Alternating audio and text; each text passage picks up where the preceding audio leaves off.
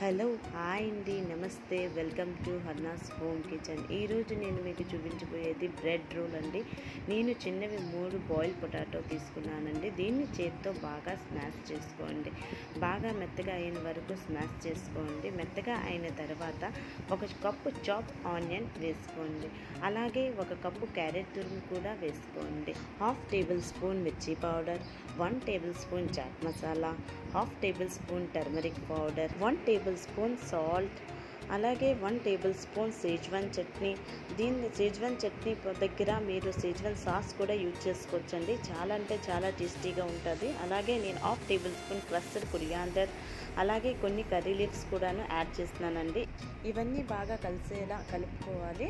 ఇప్పుడు నేను six to seven bread slices తీసుకున్నానండి. ఆల్రెడీ నేను దీని సైడ్ ఎగ్జెస్ కట్ చేసి పెట్టుకున్నాను. ఈ బ్రెడ్ సైడ్ ఎగ్జెస్ మనం బ్రెడ్ క్రమ్స్గా యూజ్ చేసుకోవచ్చు.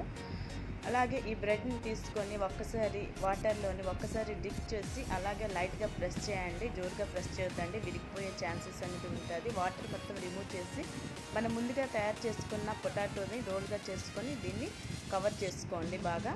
మొత్తం రోల్ చేసుకోండి.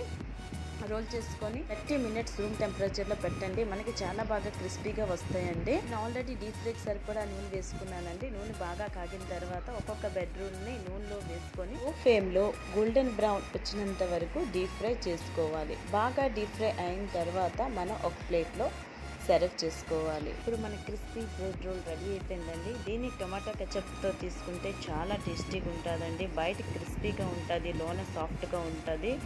చాలా అంటే చాలా టేస్టీగా ఉంటుంది. మీరు కూడా ఒకసారి ట్రై చేసి చూడండి.